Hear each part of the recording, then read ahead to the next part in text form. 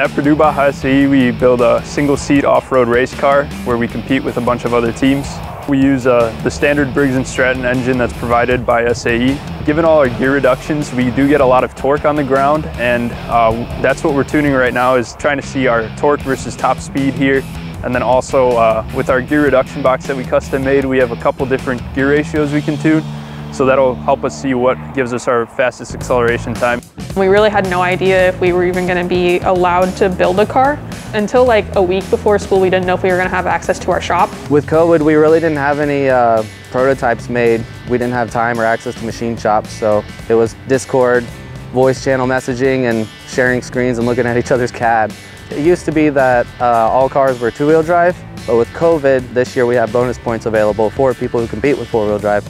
So we decided that with our team's background and the members that we had currently, that we could do it this year. So we went for it. The number of drivetrain parts I think increased from like 70 to 250. This semester alone I've spent over 200 hours in here machining parts. Um, and that doesn't include the time to actually make the tool paths or get the parts ready to be machined. Um, so that's 200 hours of just standing at the machine. It was a big relief. When I first started making the first part, it became real. It was like, okay, we're actually gonna, we're gonna build a car this year. The first few times we took off and launched in four-wheel drive and saw all four wheels spin and kick up a little bit of dirt, it was, it was very satisfying. Wow, we just built the first four-wheel drive car in 17 years and we did it during a pandemic was, it was very crazy. I feel like this whole process went really well. Like this is a huge milestone actually seeing four-wheel drive made my year and then being able to be a part of this team that got that done. Working with Baja has definitely allowed me to put a lot of the knowledge that I've learned in classes into something that I can actually see and apply to an actual physical product.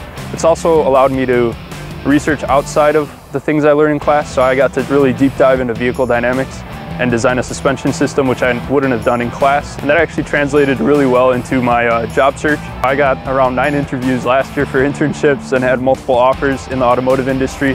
So that really helped me, and I really contribute that mainly to Baja. Overall, I'm, I'm ecstatic with how it's turned out and really proud that the team got together and made this car.